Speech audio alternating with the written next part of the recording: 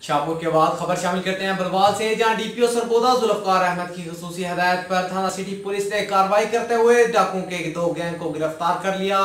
لاکھوں روپے نقدی اور اسلحہ برآمد۔ مزید جانتے ہیں بگ نیوز کے نمائندے کمر عثمان انقلابی کی اس رپورٹ میں۔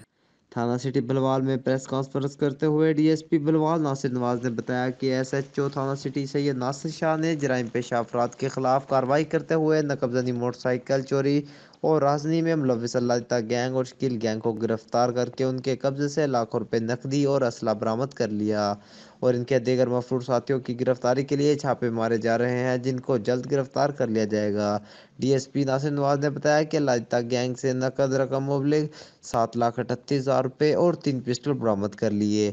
دوسری کارروائی میں شکیل گینگ سے چھ لاکھ دس ہزار روپے نقد اور دو پسٹل برآمد کر لیے۔ گینگ کے افراد کا تعلق پنڈی بھٹیاں، فیصل آباد، اوکاڑا، حیدرآباد اور تصور آباد سے ہے۔ کمر زمان انقلابی بگ نیوز بلوال۔